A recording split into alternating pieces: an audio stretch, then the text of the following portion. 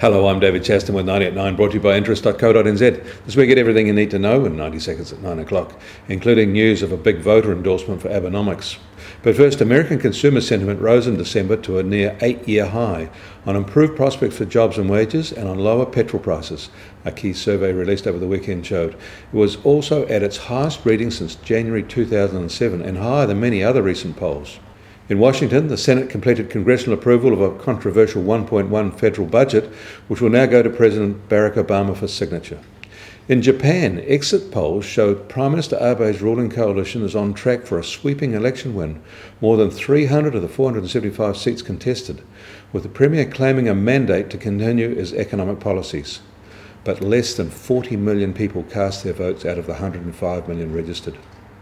In China over the weekend, economists at the central bank said they expected growth there to be 7.4% this year, but only 7.1% in 2015.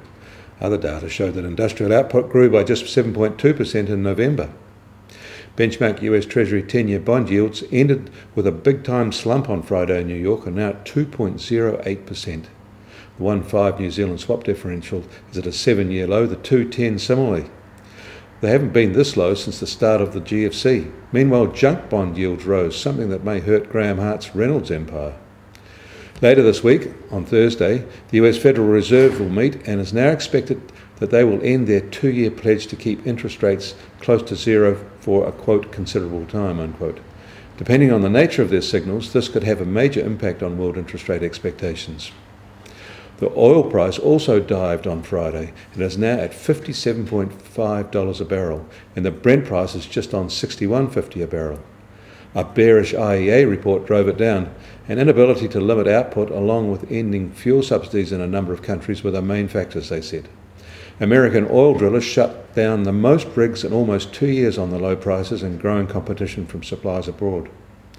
In Peru, international negotiators reached a climate change deal over the weekend in which almost 200 countries agreed on a way to draw up plans for reducing carbon dioxide emissions after 2020. But some say the deal is almost meaningless. Climate change negotiations can kick the can more expertly than US congressional budgets negotiators. The gold price also fell and is now at $1,222 an ounce. Meanwhile, our currency fell as well, but only minorly. We start the week at 77.7 US cents, 94.4 Aussie cents, and the TWR is at 78.3. I'm David Chaston. That was 90 at 9, brought to you by interest.co.nz.